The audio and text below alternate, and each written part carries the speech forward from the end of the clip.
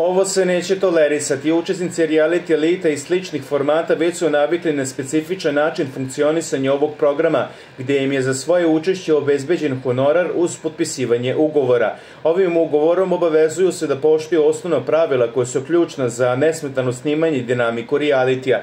Jedno od najvažnijih pravila je obaveza učestvovanja u emisijama uz zabranu primjene fizičke sile u bilo kakvim sukobima. Ipak često se dešava da učesnici prekrše ovo osnovno pravilo bilo što produkcija primorava da im oduzme deo ili celokupan honorar kao kaznu.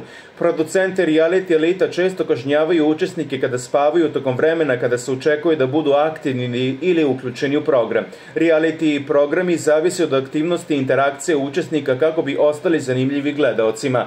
Ako učesnici spavaju umesto da budu uključeni u razgovore, zadatke ili konflikte, dinamika u kući postaje dosadna što može negativno uticati na gledanost programa. Kaznama se pokušava osigurati da učesnici budu aktivni i prisutni kako bi se stvorio sadržaj koji je zanimljiv za gledaoce.